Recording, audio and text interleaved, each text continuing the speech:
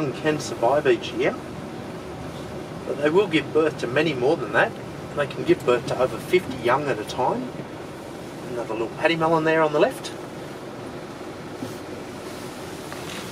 Give birth to over 50 young, and it's only the first four that find their way into the pouch and latch onto a teat that have a chance at survival. And the rest won't survive.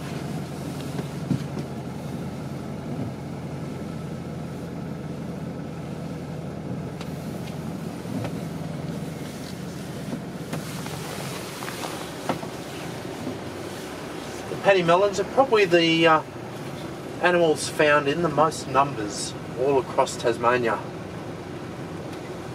We've got about half a million people live in Tasmania, just over half a million. 520, 530,000.